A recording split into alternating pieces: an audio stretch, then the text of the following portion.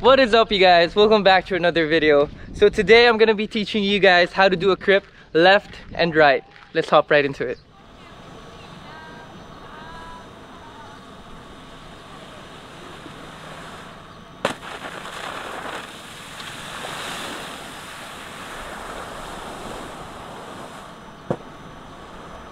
To do a crypt right foot forward, first make sure you watch my video on how to do a Raley and then come back to this one. But it's basically the same as how you do a Raley. The main difference is as soon as you do your Raley, once you reach the peak, instead of pulling the handle going to your right hip, you're gonna pull the handle to your left. So from here, you go toe side, flatten off, make sure your board is straight, edge, release, and then once you're at your peak, make sure to pull the handle to your back hip, which is your left.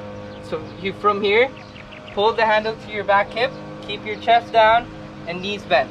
To do a crypt left foot forward is basically the same thing.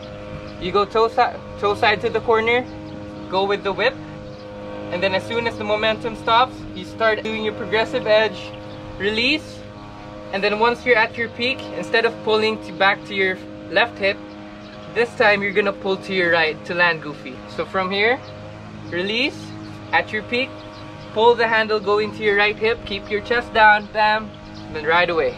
And that's how you do a crypt. Remember, as soon as you already land it on your normal stance, you can always come back to this video and try a switch. That's it for today guys. Don't forget to like, comment, and subscribe, and I'll see you all next time. Peace.